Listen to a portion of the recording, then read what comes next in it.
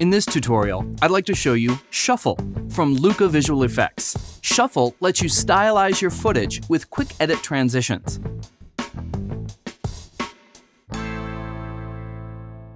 Shuffle was built exclusively for Final Cut Pro 10. You can find it in the Transitions browser under Luca's Visual Effects Shuffle. The presets have colored, numbered slides built in, so you can see what's happening.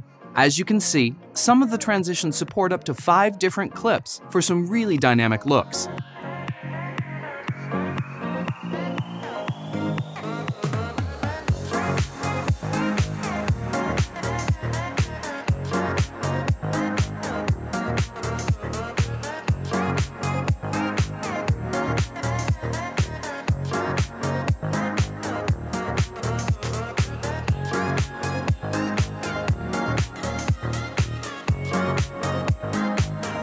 I like the preset called left to right.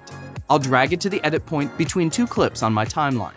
In the parameters, you can see that I have five drop zones corresponding with the five slides in the preset. I'd like to fill those drop zones with different scenes of footage. I'll go through my footage, setting in and out points, and then I'll click on each drop zone to load those edits into the transition.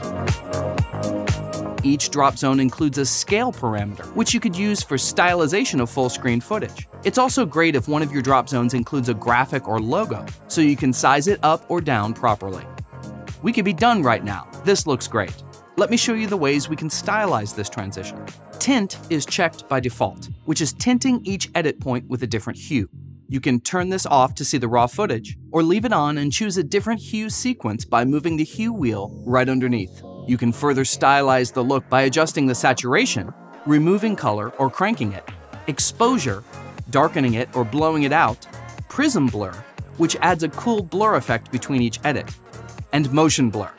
Incoming clip blur does what it says. It adds a slight blur to the incoming clip after the transition. Adjusting the length of the transition itself allows you to change it from a deliberate sequence of clips to a rapid-fire fast edit transition. Additionally, if you create a sequence and use the shuffle transitions back to back, you can quickly design an image sequence motion graphic. Anything you load in the image well can be used. Video, stills, and logos, for example.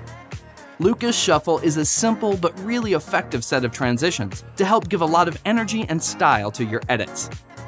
FxFactory offers a huge selection of great effects, and if you don't have them yet, I suggest you go try them out at fxfactory.com.